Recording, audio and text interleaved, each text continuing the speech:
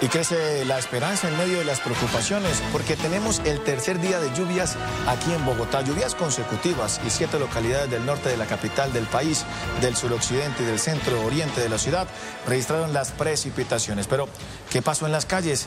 Daniela Espitia, buenas noches y volvemos con usted. Cuéntenos. Aníbal, pues además de estos bloqueos, pues hoy la noticia también fue el tercer día de lluvias. Nosotros estuvimos acompañando las precipitaciones en la autopista norte donde se presentaron algunos encharcamientos y también a la ciudadanía que tuvo que tomar visitaxis y otros servicios de transporte pues para escapar de la lavada como ahora nosotros que nos estamos mojando. Este es el informe. Tercer día de lluvias en Bogotá y los capitalinos dicen que la ciudad vuelve a ser la de antes. Estábamos sin agüita hoy, sí, tocó que salir de la casa con sombrilla ya. Empezó a caer agüita, gracias a Dios ya. Para escapar de la lavada, algunos ciudadanos optaron por usar bici taxi para llegar a sus destinos.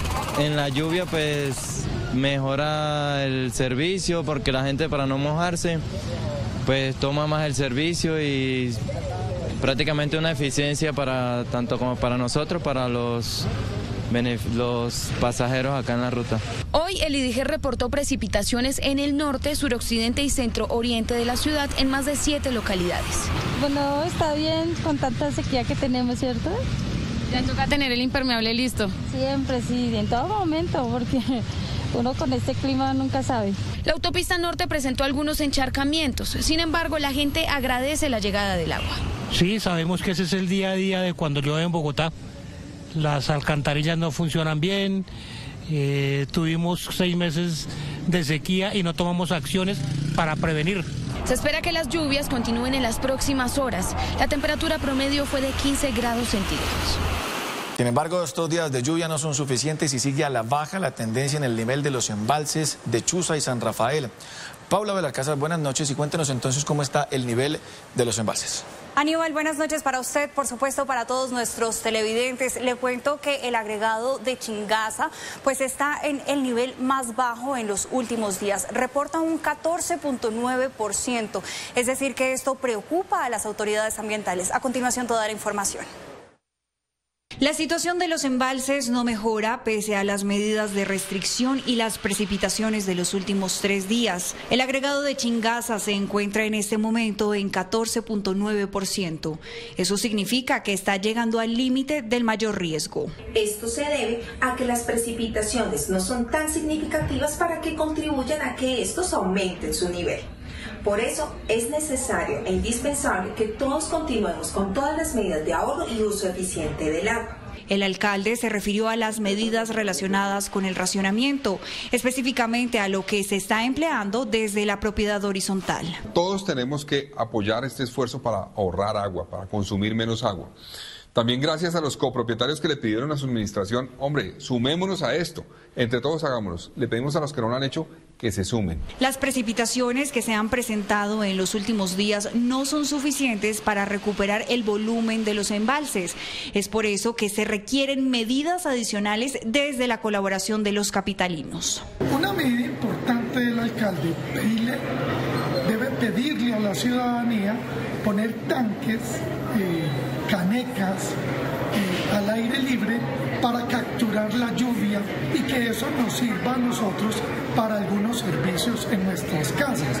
Las casas que tienen terrazas, poner unos, unas canecas grandes que cojan esa agua lluvia. Si los niveles de los embalses no mejoran y si no se cumple la meta de llegar al 20% a finales de abril, probablemente podrían intensificarse las medidas de ahorro de agua. Bueno, pero ahora vamos a hablar con Paula del tema de los embalses, porque es lo que le preocupa a la gente, es lo que está generando todo el tema de racionamiento del agua, porque están muy bajitos y no hay agua en estos embalses. ¿Cómo está? Muéstrenos, cuéntenos. Aníbal, nosotros preparamos esta imagen en la que usted y los televidentes podrán ver cómo es el comportamiento del nivel de los embalses, cómo está el volumen. Vemos que empezaba hace unos días en 15.76% y al día de hoy, como le veíamos hace algunos minutos en este reportaje, pues está en 14.9, es decir, una disminución significativa pese a las precipitaciones. Mire, casi un 1% en estos días y está lloviendo. Tenemos que seguir ahorrando. Eso le va a preguntar, ¿cómo va el tema? Es así, 1% únicamente en cinco días, Aníbal.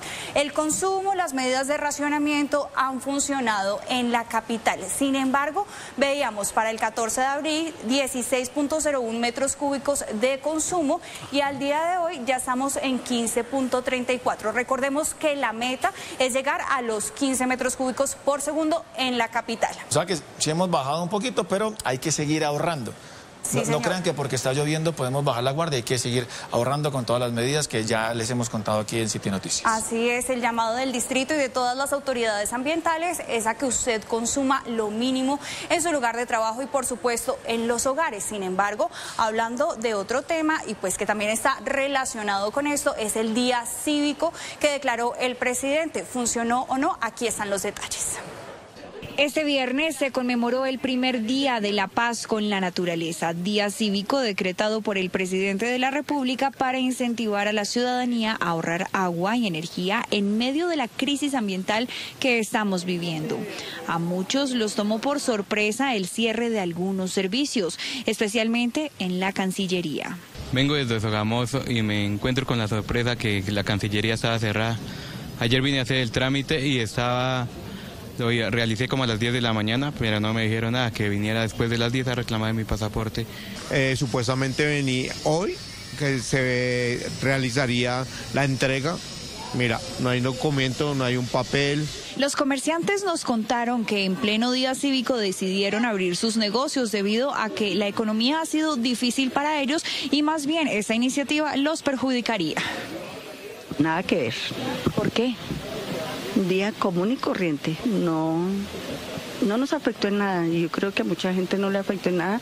Además necesitamos bien regular que está la situación como para ponernos a descansar de más. Estamos ignorando el día cívico, te cuento porque pues hemos estado trabajando normal, ha sido, eh, pues ahorita por la lluvia pues ha bajado un poquito la gente, pero de resto todo bien.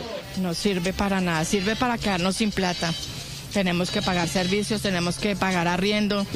Él puede dejar de trabajar porque él lo puede hacer, porque él no tiene que pensar en eso. Pero nosotros sí tenemos que pensar en arriendos, servicios. Y en algunos colegios también ocurrió la misma situación. Nos enviaron una circular diciendo que hoy había clases normal, pero pues aquí estamos a la espera porque no, no, no han llegado nada, ni docentes ni nada. Entonces estamos aquí a la espera. Los gremios de trabajadores rechazaron la iniciativa argumentando que sería una medida improvisada. Y comenzó la búsqueda de responsabilidades por la situación actual de racionamiento de Bogotá. Y según algunos concejales hay evidencia de advertencia del IDIGER al distrito que se habrían pasado por alto. Pablo, explíquenos esto qué quiere decir. ¿Ya se conocía que se iban a registrar algunos problemas? Así es, Aníbal. Esto es preocupante porque las advertencias estarían alertando esta situación desde hace 10 meses. Sin embargo, el acueducto de Bogotá y también la Secretaría de Hábitat pues habrían pasado estas alertas por alto. Desde el Consejo de Bogotá se llamó la atención al distrito. Se cumplieron más de 10 meses en los que se pasaron por alto, al parecer, las advertencias del IDIGER, que en medio de un comité frente al acueducto de Bogotá y la Secretaría de Hábitat ponían sobre la mesa que las lluvias tendrían una reducción de hasta el 80%. Solo dos días antes de terminar la administración, levantaron otras actas a través de otro comité donde establecieron que efectivamente sí tenían que tomar unas previsiones. En ese orden de ideas, estamos pidiendo que se investigue de manera disciplinaria la presunta omisión de la exsecretaria del Hábitat, Nadia Rangel, como cabeza del sector toda vez que debía haber tomado las precauciones necesarias luego de la advertencia. Las primeras advertencias se hicieron el 28 de junio de 2023 y el acta número 6 contempló que ante un posible déficit hídrico se debe estar preparado y contar con un plan de acción. Esto por parte del acueducto ante el fenómeno del niño. El acueducto no ha cumplido con su propia planeación en términos de abastecimiento de agua. La ciudad hace una cosa que se llama el Plan Maestro de Abastecimiento, que básicamente mide, anticipa cuánta agua vamos a necesitar en el futuro según el crecimiento demográfico y la cantidad de agua que consume cada persona.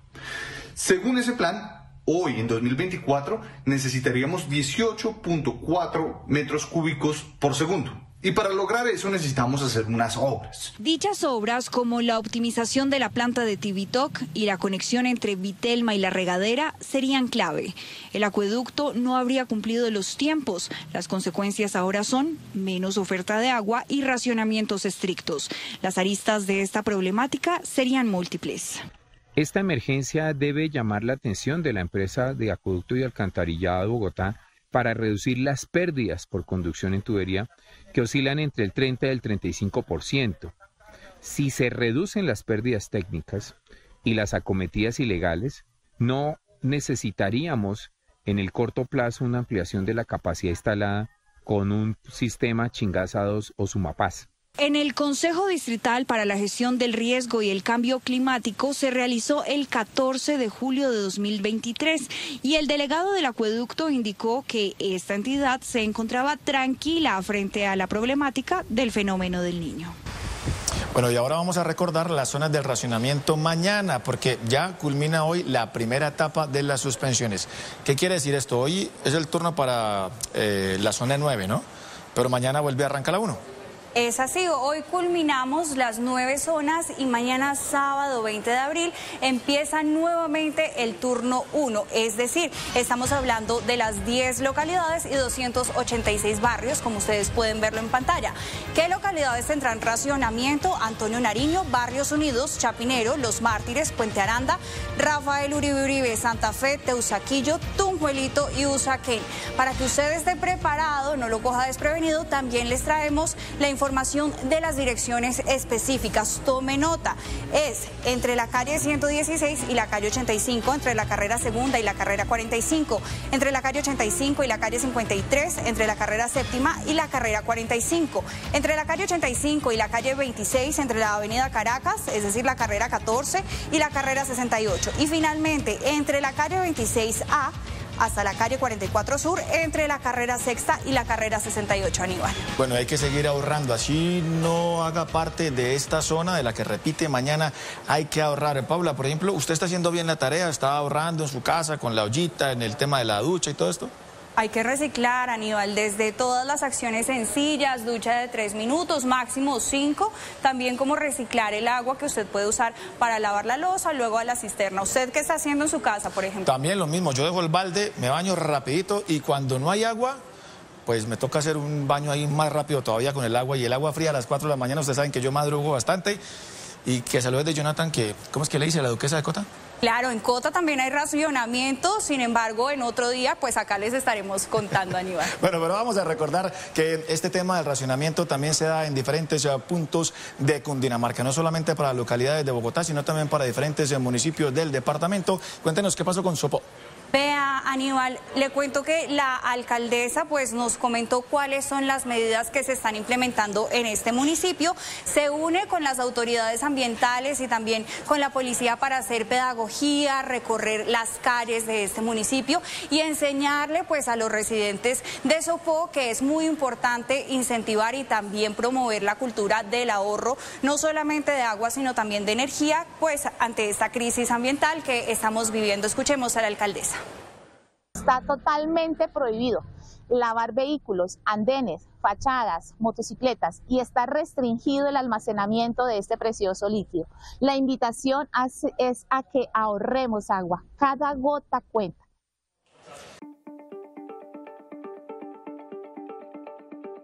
Suscríbase a nuestro canal de YouTube, active la campana y no se pierda las últimas noticias. Somos Canal City TV.